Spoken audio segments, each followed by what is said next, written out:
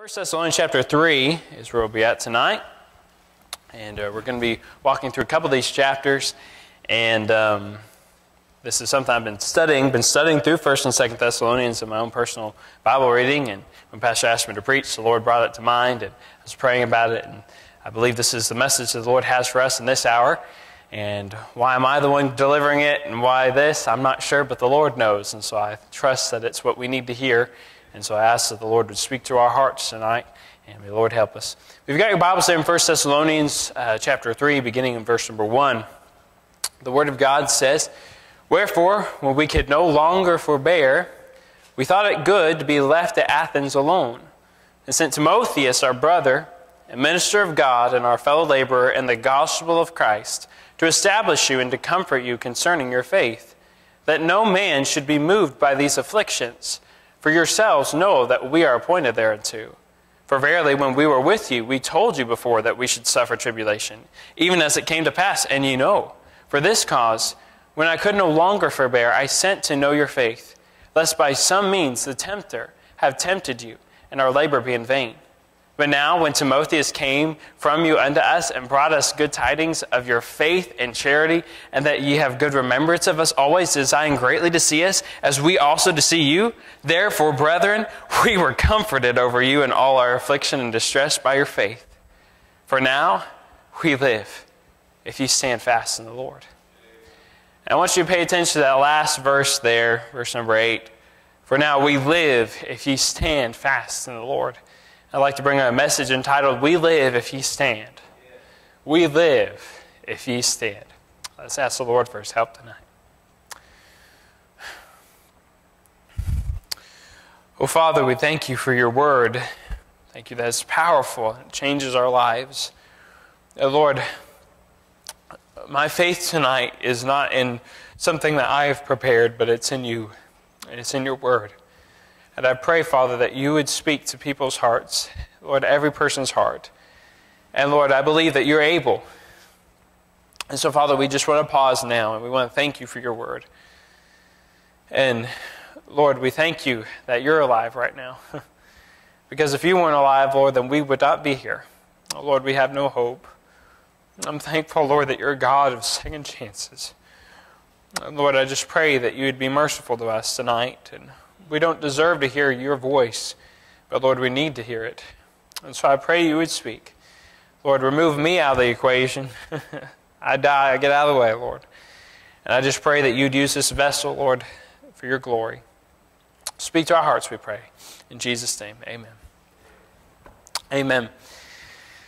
You know, I wonder tonight how many of you have ever had a project that you've begun, you know, uh, work with, and uh, maybe it was something you started on, you know, like, ah, you know, maybe it was during quarantine time. You said, oh yeah, I'm going to clean the garage, or I'm going to, I'm really going to organize my filing cabinet, or I'm going to do something like that. I see some laughs and head nods around. And maybe it was a school project, and you started working on something, and you maybe didn't quite get the whole thing finished, or you're rushing the night before to get it finished. Uh, I won't name names, but uh, we're all guilty of that, right? But we've all had some kind of project that we've started, and we've been concerned about.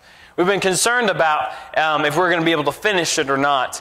And tonight, as we jump into the scripture, we see that the Apostle Paul had a number of different projects, and, and they were churches, they were people uh, that he would pray for, and, and, and churches that uh, had been established by the Lord on his missionary journeys. And the church of Thessalonica was a very interesting um, story, how it got started. We'll look at that later on in the message in Acts 17. But his concern was that the, this project, this, this group of people that had been established, had been established in the midst of some trouble. And he was worried that because of this trouble, because of their affliction, that their faith was going to fail. Um, in fact, look at again in verse number um, verse number four, he says, For verily, when we were with you, we told you before that we should suffer tribulation, even as it came to pass, as you know. For this cause, when I could no longer forbear, I sent to know your faith, lest by some means a tempter have tempted you, and our labor be in vain. He's saying, I couldn't hold back anymore. I, I had to go send someone to make sure you guys were okay, to make sure that everything was okay. And wonderfully, Timothy came back, and he brings back some wonderful news in verse 6 that they were doing well, that they, they were staying strong in their faith and staying strong in love and through charity, remembering things. And something amazing happened. Verse 7 Therefore, brethren, we were comforted over you in all of our affliction and distress by your faith.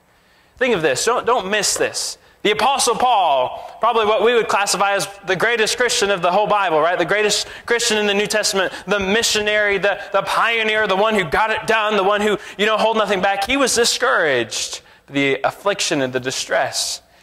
Yet, because of this church's faithfulness, oh, he said, I've been comforted by your faith. And in verse number 8, he says, For now we live if ye stand fast in the Lord. And he was, he was reminding the church, he was saying, hey, because you're doing what's right, I have hope to keep going. Because you're standing for God, I'm, I'm living on. I'm, I'm, I'm going to keep going for Christ. Oh, and tonight I want to encourage you. All of us have people who are counting on us.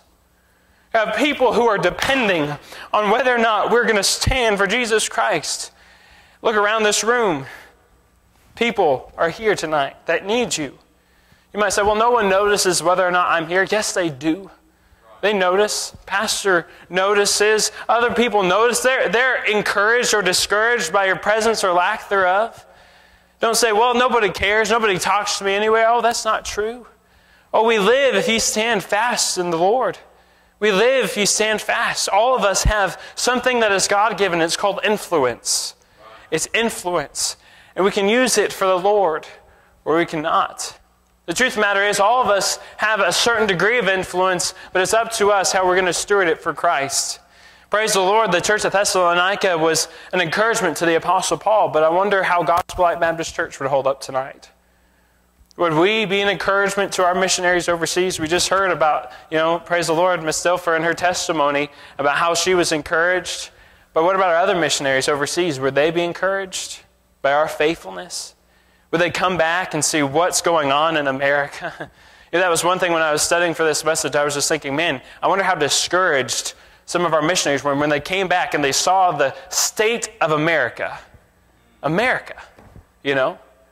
And it's easy to point fingers and to blame, but really we know we're the ones to blame. We are the ones to blame. Why? Because we have not stood fast in the Lord. The only this we're going to begin and end the same way. We're going to make a full circle tonight with the Lord's help. But there's only one way you can stay faithful. We're going to look at some different specific things in the scripture here, but there's only one reason. And it's mentioned twice in, between 1 Thessalonians and 2 Thessalonians, once in the first epistle, once in the second. If you got your Bible open there, just turn a page or two to 1 Thessalonians chapter 5. 1 Thessalonians chapter 5 and look, look at verse number 24. How was the church of Thessalonica able to stay faithful how are they able to stand fast in the Lord? Look at verse number 24. Faithful is he that calleth you, who also will do it. You and I have no faithfulness in of ourselves. We are fickle. We, we, we're not dependable. Okay? But the Lord is. Turn over just a couple more pages to 2 Thessalonians chapter 3. Look at verse number 3. 2 Thessalonians chapter 3, verse 3. Same thought. But the Lord is faithful who shall establish you and keep you from evil. And I want to encourage you tonight that God is faithful. Our God is a faithful God. And it is by His grace, by His faithfulness, we can stand strong for the Lord. But I want to encourage you there are people who are hanging in the balance tonight. Some of them are in this very auditorium. And whether or not you will stand for Christ to determine whether or not they will continue to live on. And I want to challenge you not only in the sense of the application directly with our own brethren and sisters in the Lord. But how much even more so does it apply to the lost? Think of that. He says, Now we live if you stand fast in the Lord. You know, a dead person can't live, can't do it. They need a resurrection.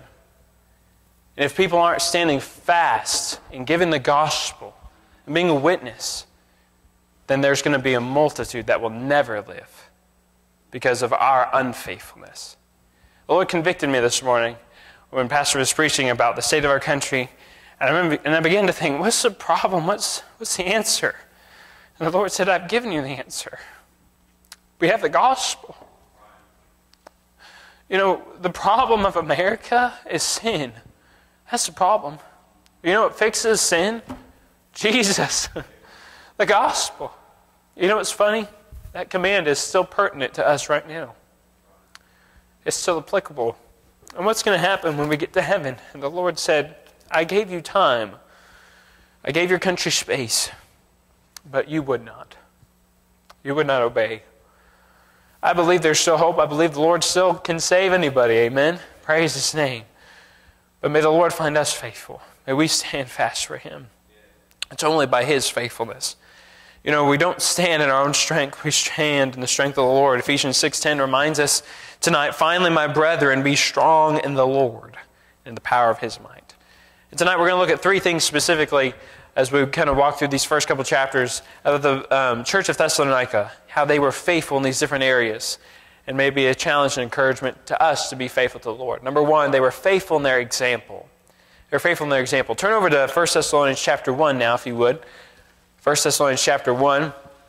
The, the Apostle Paul, is writing here, uh, writing to the church at Thessalonica. And he begins Paul and Silvanus, or Silas, and Timotheus unto the church of the Thessalonians, which is in God the Father and in the Lord Jesus Christ. Grace be unto you and peace from God our Father and the Lord Jesus Christ. We give thanks to God always for you all, making mention of you in our prayers. Now, notice, as you read through this scripture, you can tell Paul's heart for this church. You can see his spiritual maturity as he has such a heart for other people, as he has such a heart for others. And he's saying, We give thanks always for you all. And you hear the gratitude. It's like making mention of you in our prayers. And look at verse 3. He says, Remembering without ceasing your work of faith and labor of love and patience of hope in our Lord Jesus Christ, the sight of God and of our Father. And now skip down to verse number 7. He said, or excuse me, verse number six, and it says, And you became followers of us and of the Lord, having received the word of much affliction, with joy of the Holy Ghost, so that ye were examples to all that believe in Macedonia and Achaia. It's interesting here, he calls them examples. It's, it's like our word examples, it's a little bit different. You notice it's not examples, it's ensamples. So, what's the difference there? There's a little bit of a difference. This specific word has the idea of a type or something that is used to stamp an image on something else.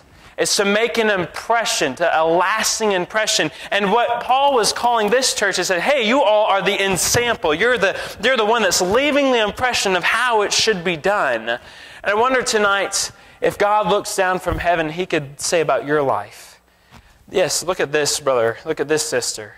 They're an example of the believers. Could they say that of you tonight? Are you being faithful in your example? Three things specifically or two things specifically under this. They were examples in their service to Christ. Look again at verse 3 remembering without ceasing your work of faith. They, didn't just, they weren't just busybodies. They, they were in the work of God, they served God, but it was faith work. Faith works, like we heard this morning in our Sunday school lesson, that it's when we walk by faith, it, it, there's shoe leather there, there's, there's action. You know, Enoch preached, he prophesied to his generation. He didn't just sit back and watch the, the whole world go to hell. No, he preached. And God wants us to be involved in a work of faith. And let me ask you this, this evening are you staying faithful in the work of faith that God's given you? It's easy when you say, well, Brother Chase, you know, COVID 19, yep, that's the same excuse I give sometimes, you know? It, it, it's easy to come up with excuses, isn't it? Oh, but we have no excuse when we think about our Lord as a work of faith? Are you being faithful as an example in the, in the ministry, serving the Lord? Hey, the Lord deserves our service. He deserves everything. He gave everything for us. It was a work of faith. And then not only that, but also a labor of love. This service to the Lord drew out of their worship. Think of that. It was motivated by love. They didn't do it because they were just told to do it. They did it because they wanted to do it. Why? Because they loved the Lord. They understood how much that Jesus gave for them. And oh, they just longed to give something back to Him. Oh, is that you tonight? remember reading about the story of Hudson Taylor, missionary to China, 1800s. And after he got saved, he, he, was, he was in his room. He explains the situation there that he was in his room, he was studying his Bible, and the Lord just, the Lord's love just came on him so much, and he just felt so overwhelmed. He said, Oh, Lord, I just, I want to do something for you. I want to give my life to you. And at that point, he wholly consecrated himself to God, said, Lord, I'll do whatever you want me to do, whatever it is. And we know, as history tells us, that that man God used to raise up an army to take China by storm with the gospel. Now, think of what God could do if we'd have a labor of love. A labor of love. It grows out of our worship. It's not by constraint, it's not grudgingly. Eh, I got to be at choir practice tonight because Brother Chase. No, just kidding. got to pick up my choir members. I love you all. Okay. No, we, we love the Lord. Amen. It's a labor of love, not constraint. Amen. And then the third thing there, the patience of hope. This is so interesting to me. It's kind of an odd combination patience of hope. They, they were serving the Lord, but they were serving Him patiently. Why? Okay? Well, we'll cover a little bit more. We've already talked about a little bit in our text in chapter 3. But the church of Thessalonica underwent extreme persecution. There's a lot of opposition. And so it would have been very easy for them to just say, Nope, I can't serve the Lord because, you know, I might get my head chopped off. you know, that they had legitimate excuses, you know. But you know what? They had patience as they served the Lord. Why? Because they had a hope. Because they, as, as you study 1st and 2nd Thessalonians, we understand that the main theme of it is really not their faithfulness, but God's faithfulness and His soon return. His faithful return. And so they were hoping for the return of Jesus. Think of that. It give them patience to keep on. Don't give up. Stay faithful. Oh, God is coming back. Tonight could be the night. Would he find us faithful? Oh, will he find faith on the earth? 1 Corinthians 15 58, therefore, my beloved brethren, be steadfast, unmovable, always abounding in the work of the Lord. For as much as you know that your labor is not in vain in the Lord. I love that promise, don't you? and by the way, all that you do in me, it's not going to be in vain. Hallelujah. Praise his name. Aren't you thankful? But are you being an example? If you've grown weary tonight in serving the Lord, let me encourage you. The Lord hasn't given up on you. Just because you might have taken a hiatus, if you will, or a league of absence, hey, you're not out, okay? God will still use you if you're willing. God will still use you if you're open, if you'll let Him. Maybe that's you tonight, and maybe the Lord's pricking your heart and say, Man, I need to get back in whatever. I need to get back at where I used to be because I want to serve my God. I've only got a little time left. Oh, we don't know when our last day is going to be, folks. Jesus could come back tonight. Why do we stress so much about stuff that's going to take place a week from now, or two weeks from now, or a month from now, or a couple months from now, if we don't even know if it's going to happen? What we do know is we've got this day, and Jesus could come back. But what have I done today to serve the Lord? Oh, don't be weary in well doing, for in due season we shall reap if we faint not. They were examples in their service to the Lord, but also they were examples in their walk with the Lord. Look at verse 6. And he became followers of us and of the Lord having received the word of much affliction with joy the Holy Ghost. I love this example here. You know, the, this is such a beautiful testimony of discipleship. You see this? Because really, what discipleship is, is as we're following Jesus, we're, we're getting others to follow Jesus with us. And we're, as we're following the Lord, we're getting others to follow us following the Lord. You see that? They're following, we're, we're, we're bringing others along with us. It's not all about us. There's others that need to be brought along. And, and they were saying, Paul was reminding them, he said, Hey, you, you followed me, but you followed the Lord. You're following Jesus. And you know what happened? It multiplied. Look at this. Okay, look at the keep reading. They were, they were examples in this.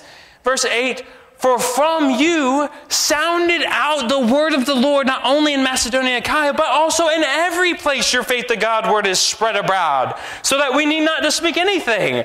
And say, as we as you are following us, as you as I'm following Jesus, you know what? You got all the other people that were in Macedonia, Achaia, and all these other places. They said, all right, we're gonna follow Jesus together. Okay, we're gonna follow the Lord together. And then look at verse 9. I love this. This is such a cool story. It says, For they themselves, who? All these other people show of us. Who's he talking about? Paul and the others that were with him? These other people showed Paul and them what manner of entering in we had unto you. Who's that? The Thessalonians.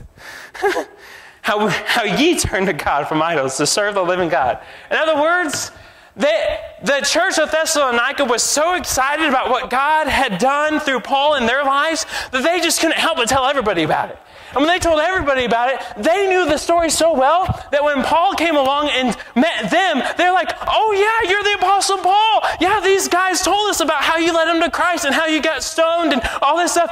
Wow. And Paul's like, whoa, we didn't have to tell them anything because they already knew it. Why? Because that's multiplication. That's when God multiplies. You see that? And that's what God wants for us. He wants us to be faithful in that example. And some of us, we've gotten out of that. Oh, we need to get back to, just like we heard about, about teaching others also, reaching people with the gospel and mentoring them. That's obedience. When we don't do that, we're disobeying God. It's not optional. We like to think, oh, well, that's just for the pastor and the staff. No, the Bible says in Matthew 28, Jesus said to all the disciples, if you know Jesus as your Savior, that's you tonight. think of that. That means you and me. Matthew 28, I'll get there eventually, okay? Jesus said, Go ye therefore and teach all nations, baptizing them in the name of the Father and of the Son and of the Holy Ghost, teaching them to observe all things whatsoever I have commanded you. That was a command from our Savior. And it was given to not just a few or to one or to 12, it was given to all that would know the name of Jesus Christ. And I want to challenge you tonight how are you in your personal soul winning and discipleship? You know? I'm guilty tonight. I'm not what I should be. I want to be. Oh, Lord, help me. I want to be. But it's not enough just to have a hope. more and more the Lord's showing me that I can be very ambitious, very get, get my hopes up, you know. Uh, we'll go on a trip and, you know, I, I got to watch myself. I'll take like, you know, a whole library with me because I think I'm going to have enough time to read all these books. You know, Missy's laughing. She's seen me walk around the church like this with all this stuff. Why? Because I, I get ambitious. I think I'm going to do all these things. You know, serving God is not just wishful thinking. There's got to be a time where we've got to be serious about it. When are you going to be serious? No better day than today. The Lord gives you the opportunity. Just pray, Lord, would you give me someone I can lead to you? Would you give me someone I can tell about what God did in my life? Oh, it'll do so much for you. Just like we heard testimony earlier, when you obey the Lord in this area, it helps you to grow. Because you know what? We'll never fully to be able to grow to what God wants us to be unless we're obeying the Lord. There are certain things that we will not grow in unless we're first obeying in other areas. There are certain things that won't make sense in God's word unless you're doing what God says. And so you got to obey. We got to follow the Lord. And I'm so thankful that the church of Thessalonica, they followed the Lord. What an, an amazing example. Aren't you thankful for that tonight? Not only they were faithful in their example, but they were faithful to receive the word of God. Look at chapter 2 if you would. Chapter 2, 1 Thessalonians. Paul is, is speaking some more about their investment and how God used them and he talks about the suffering that they went through, and yet they still gave them the gospel, and they, they nourished them as a, as, a, as a nurse cherisheth her children. Verse 7, they were gentle. They, they gave them not just the gospel of God, but their own souls. Verse number 8. And there's so much we could bring out of here. We're just kind of getting some highlights tonight, and I would encourage you to study God's Word on your own and uh, to spend some time in God's Word this week and reading over these things and meditating on them. But look at verse number 13. He comes down and he's talking about these things, but then he commends them for something else that I believe is a key to their faithfulness and their standing strong. Verse 13, chapter 2 For this cause also thank we God without ceasing, because when ye received the Word of God, which ye heard of us, ye received it not as the Word of men, but as it is in truth the word of God, which effectually worketh also in you that believe. He's saying, I'm so thankful that when we came, you didn't esteem our words just like the words of every other religious person out there. You took the words of God and believed them to be God's words. Oh, tonight, that'll help us to stand fast in the Lord. That'll help us to be strong in God, as if we receive God's word as God's Word. Hold your finger there. Turn over to Acts chapter 17, if you would. Acts chapter 17. We're coming right back to 1 Thessalonians. But this is the passage that it talks a little bit about um, Thessalonica. Acts chapter 17, and Paul going there. We won't read all of this, but we'll read a couple of the verses here. In verse number 1 of Acts 17, he says, Now when they had passed through Amphipolis and Apollonia, they came to Thessalonica, where was a synagogue of the Jew. Now that's important. Okay, Paul's manner was always to go to, yeah, verse 2. And Paul, as his manner was, okay, just read the scripture, Chase, went in unto them. All right? just read the Bible, it explains itself. Amen. Yep, thank you. And three days reasoned with them out of the scriptures. What was he doing? Opening and alleging that Christ must needs have suffered and risen again from the dead, and that this Jesus, whom I preach unto you, is Christ. And some of them believed and consorted with Paul. That means that they associated or united with him and Silas. And of the devout Greeks, a, mult- a great multitude. And of the chief women, not a few. But notice verse 5 But the Jews, which believed not, moved with envy. We won't go on to read, but they take Jason, and, and there's a lot of trouble in the city, and they, they say that these are the ones that turned the world upside down and, and there's all this trouble. And skip down to verse number 10. And the brethren immediately, who's the brethren talking about? It's talking about the church. The brethren, the church, okay? Immediately sent away Paul and Silas by night into Berea, who coming thither went into what? The synagogue of the Jews, okay? Paul's going to do what he normally does. He's going to go to the Jews and try to witness to them, right? Verse 11. These were more noble than those in Thessalonica, and that they received the word with all readiness of mind and searched the scriptures daily whether those things were so. Notice verse 12. Therefore, many of them believed. Interesting, isn't it? So, Paul preached at Thessalonica, and there were, there were many that believed. And then the Jews, most of the Jews actually found out that they, that they were preaching God's word, and so they got angry and chased Paul out of town. And the brethren, they snuck him out to Berea. And so Paul does the same thing. He goes to the, the synagogue, begins preaching to the Jews. He's starting first with the Jews in his ministry here. And they, in Berea, many of them believed. Why? Because they received the word with all readiness of mind and search the scriptures daily whether those things were so. Now, notice, it didn't say that there weren't many that believed in Thessalonica. Did you catch that? Verse 4, it says, And some of them believed. Who is the some? He's talking about the Jews there. Only some of the Jews believed. But then he says, uh, The devout Greeks, a great multitude.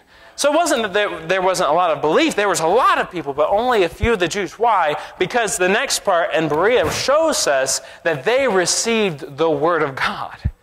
They received the Word of God. These some in Thessalonica received God's Word for what it was. They received it for what it was. And I want to challenge you tonight. Do you receive God's Word as it is? As it is. I've heard faith described as this. We often use the definition looking into Jesus. That's my favorite definition. But I've also heard this definition. I like it here. It says, taking God at His Word. taking God at His Word. You know, if you take someone at your, at your word, that means that what? They're going to do what they say, right? Yeah, they're going to do what they say. Well, then why don't we believe God's word like that? Why don't we take God at His word? You know, I have a, um, a little book with me tonight, okay? And this is Hudson Taylor. Okay, I like Hudson Taylor, in case you haven't found out. But this is an autobiography of the life of Hudson Taylor. Okay, so he, he wrote everything that's in this book and he tells about his life and how God used him there in the ministry of China and how God brought it about and different things. It's a great book. I would encourage you to read it if you get the chance. Um, but it's the words of Hudson Taylor about Hudson Taylor and how God used him. Okay? So, but Hudson Taylor is no longer living. He's dead. All right? Sorry to burst your all's bubble. Some of you might have thought he was still alive. His picture's on the hallway. But no, he, he's, he's not with us anymore. It, these were the words that Hudson Taylor said. Okay? He said this at one point. I want to challenge you tonight.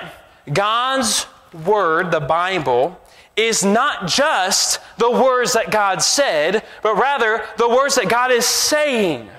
It's the words that He's speaking. Our Lord is not in the grave. But yet, why do we treat it as if our Bible is dead? Why is it if it's a dead book and we come in when we know the stories and we forget that when we read these words, God is speaking? Think of that. Oh, may the Lord help us to receive it for what it is. What is it? The Word of God. The Word of God.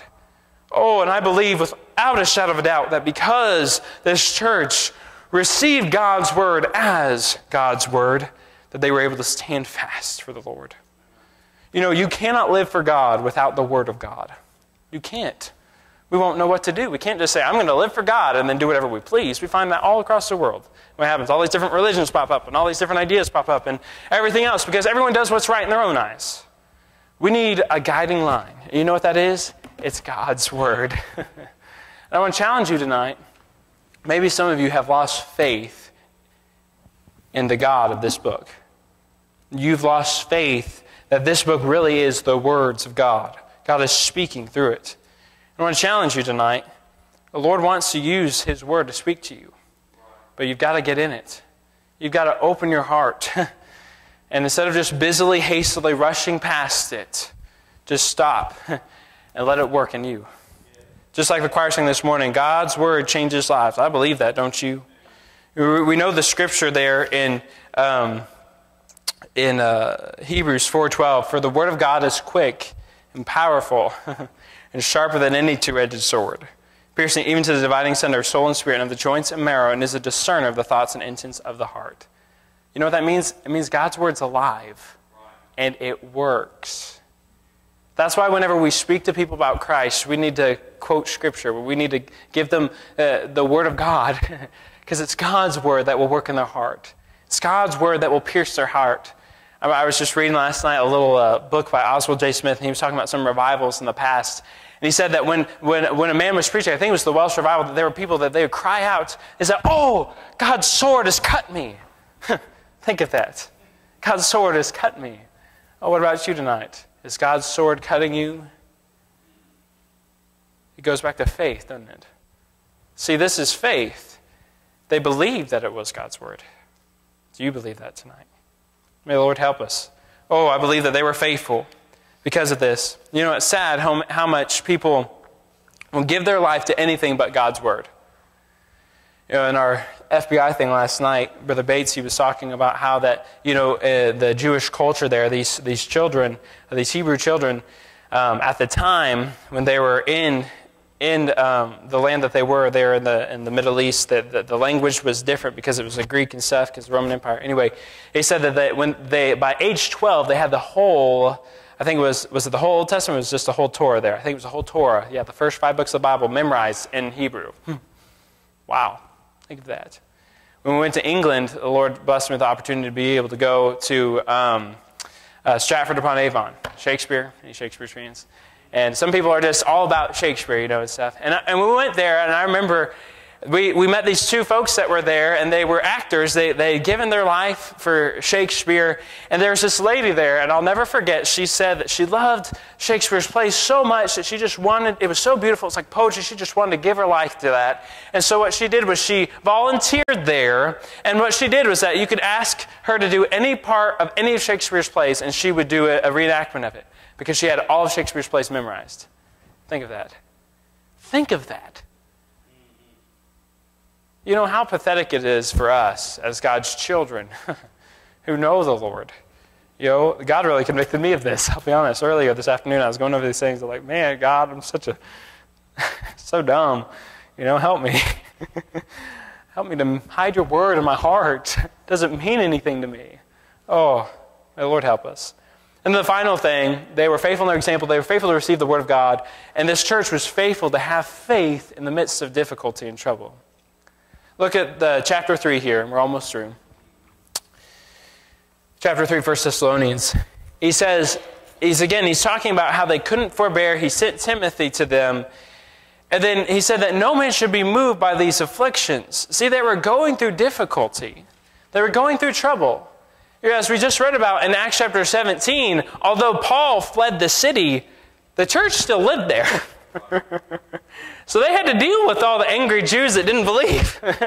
you know, sometimes you ever had the wish, you're like, man, I just wish I'd get away from my problems? Yes, right? yeah, yes, we've all been there, right? Escapism or whatever they call it. Okay. Yeah, we've all wanted to be. They couldn't. That's where their home was. And so Paul knew they were going to go through difficulty. He knew they were going to go through trouble and heartache, and he didn't want their faith to fail. Oh, so what are some things that they had that had their faith in the midst of trouble? They anticipated this, this opposition. They anticipated this trouble. Look at verse 3 that no man should move, be moved by these afflictions, for yourselves know that we are appointed thereunto. For verily we were with you, and we told you before that we should suffer tribulation, even as it came to pass, and you know. Paul warned them ahead of time. He's like, hey, look, difficulty's going to happen, trouble's going to come. Adversity is going to happen. We've heard our pastor say before whatever God ordains, Satan opposes, right? When you decide that you're going to try to live and stand for Jesus Christ, there is going to be opposition and trouble. Let's not be fooled to think that, oh, I don't understand why all this bad stuff's going on. Why are you trying to live for Jesus? if you're trying to live for Him, then of course there's going to be bad stuff. In fact, at the end of chapter 2, Paul says that he wanted to see the church, but he says at the end of verse 18, but Satan hindered us. There's a spiritual battle that's going on. We can't see it, but there's demons and angels, even at this moment, that are in conflict, trying to block out some of you from hearing God's words. Oh, may Lord help us not to be ignorant of Satan's devices. They anticipated opposition. 2 Timothy 3:12, yea, and all that will live godly in Christ Jesus shall suffer persecution. I don't like to hear that.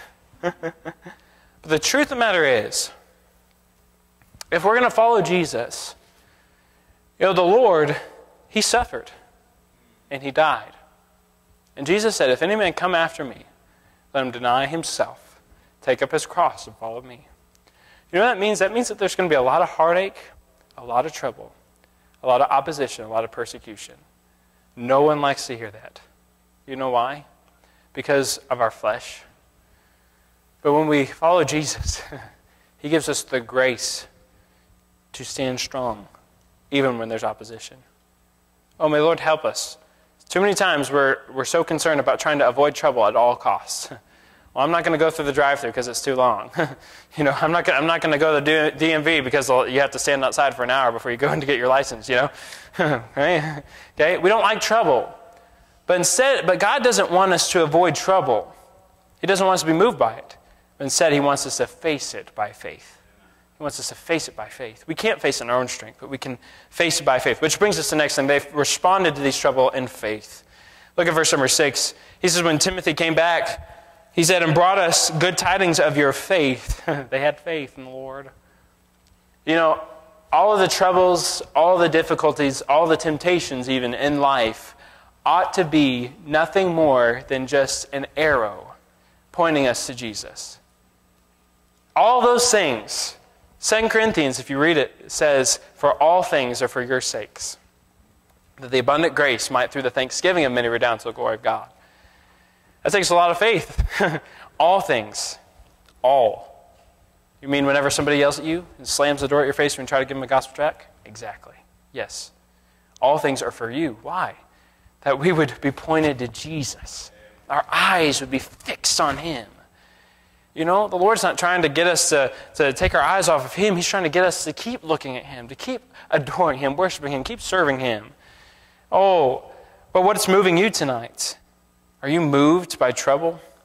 The Apostle Paul says in Acts 20, 24, But none of these things move me. Neither count on my life dear unto myself, so that I might finish my course with joy in the ministry which I have received of the Lord Jesus to testify the gospel of the grace of God. You know, really, when trouble comes, it reveals the object of our faith. If I get upset because something bothers me or something changes my plan, it shows me that I'm not truly having faith in Jesus. You know why? Because I'm having more faith in my comfort or my plan or my circumstances going according to what I think they should go instead of trusting that Jesus knows well and good enough what I need. That if He allows some trouble or inconvenience, I need that. We need to have faith. Oh, we need to have faith. What moves you tonight? What moves you? If you're easily swayed by all this stuff that's going on in America, maybe it shows that your faith is not in the right place. I'm not trying to, to cast stones or be any of that tonight, but I'm just trying to encourage you look back to Jesus. You know, I was so encouraged. Jonah, he's in the belly of the whale. he's sinned against God. He's rebelled. He's, he's gone his own way. He's run from the Lord. And he's in the belly of the whale. And he recognizes that salvation is of the Lord. And he says something that just the Lord used to jump out to me. He says, Yet will I look again to thy holy temple. You know, Jonah got in his eyes off the Lord. He saw Nineveh. But he said, Lord, I'm going to look again. Some of you tonight, you've gotten your eyes off Jesus. You've gotten your eyes, like Peter, off of Christ and on the waves and the winds and everything that's around you. You need to get your eyes back on Jesus tonight. That's what faith is. looking to Him. They responded in faith, and the final thing, they were, or, uh, sorry, there's so much goodness here. They responded in love. Look at the next thing here. They responded in love, charity. You know, they, they, when, it's, when trouble comes, it's easy to be hateful. Think of that. It's easy to get hateful. I don't like saying that. I don't like admitting that. But when, I, when I'm rubbed the wrong way, I, my, my reaction is not to say, oh, that's okay. It's like, get out of my way. it's like, I'm going somewhere. no, but they responded by these troubles in love. You know, the signposts of our faith is the love of God. Jesus said, By this shall all men know that you're my disciples. But you know why it's hard to love, especially when there's trouble? It's because it requires humility. It requires humbling ourselves. It requires admitting that we're wrong and that our way is not right, but His way is right. That's what Jesus did. Remember Philippians 2? He humbled Himself. You know, why did, why did God send Jesus to die on the cross? It wasn't to, you know, to get rid of sin. You know, easily God could have just started over. Goodbye, human race. Hello, new people. Could have been that easy. Seriously, that easy. But you know what? The Lord loved you and I so much that He sent Jesus to die for our sins. Oh, may the Lord help us to love. In this final thought, they responded by remembering one another in the midst of their troubles. Oh, this is so good. Don't miss this. The final thought here he, he reminds them, he says, when Timothy came, they gave him good tidings of their faith, their charity, and that ye have good remembrance of us always. What was he saying? He was encouraging the church there. He said, Thank you for remembering us in prayer. Thank you for remembering and not forgetting about us. You know what they did? In the midst of their difficulty, instead of looking at their problems, instead of looking at their inadequacy, instead of looking at all this stuff, they got their eyes on the Lord and because of that, they got their eyes on other people. And when they began to get their eyes on other people, they saw the Apostle Paul. You know, the apostle, they, the church wasn't the one that was really causing the ruckus, it was the Apostle Paul. And they knew that Paul was going to go and there was going to be more trouble wherever he went. They'd heard about his journeys and everything, no doubt. And so they were concerned about Paul. So you know what they did? They remembered him. They wanted to see him. No doubt they prayed for him. And I want to encourage you tonight, that, I believe, more than anything else, was what encouraged the Apostle Paul to keep going. He said, Therefore, brethren, we were comforted over you in all our affliction and distress by your faith. For now we live if you stand fast in the Lord. I want to encourage you tonight. There are other people in this room that are going through a lot more difficult things than you are. There are other people that are not in this room that are going through more difficult things than you are. And may Lord help us to quit being so selfish. And I'm preaching to myself tonight. And to get our eyes on Him and His goodness and our sufficiency. And also others, in need of others. Oh, and when you stand strong, Lord, even though it's hard, when you have faith in God and do what's right and obey Him and have faith in Him, you remember others, oh, you know what happens? They live because you stand strong. You remember them. You know, church, I want to encourage you. Our pastor needs our prayers. If we don't lift up his arms, who's going to? We've got to stand strong, church. Because he's going to live if we stand. Would you think about this? What about the fate of his hand, what about the fate of his family if it's in our hands and our faithfulness? We know that the Lord is in control of that. But what if he got discouraged because no one came to church. No one ever listened. No one ever let God do any work in their life. They all gave up. Oh, but church, if we would be faithful and stand in our place by our man and hold up his arms instead of talking behind his back and complaining, oh, may the Lord help us to lift him up. Because when we stand, he lives.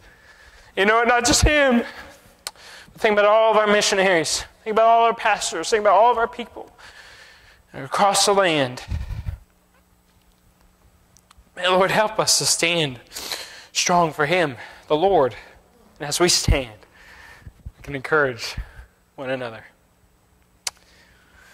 Um, I'm going to close by sharing this.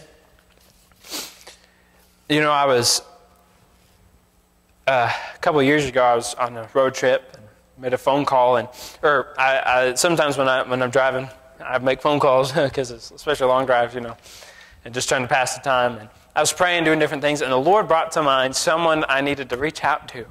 It was someone who I wasn't expecting. And some of you probably know him. His name is Pastor Clarence Sexton. and I was like, Lord, I can't call Pastor Clarence Sexton, you know. He's, you know, he's awesome. like, you know, like if I call him, you know, well, I'm nobody, you know. But God pressed it more and more in my heart, and after I wrestled with God for five minutes, you know, I was like, all right, Lord, I'll call him. And so I called him, and he answered, and um, I was just so nervous, you know, I'm shaking, driving like this in the road, you know. and, uh, and I just, and I was like, you know, Pastor, I don't know why, but God just laid on my heart for me to call you and to let you know I'm praying for you, I love you, and stuff. And I'll never forget, after he finished, he's like, Son, I want you to remember something. We live if you stand. We live if you stand.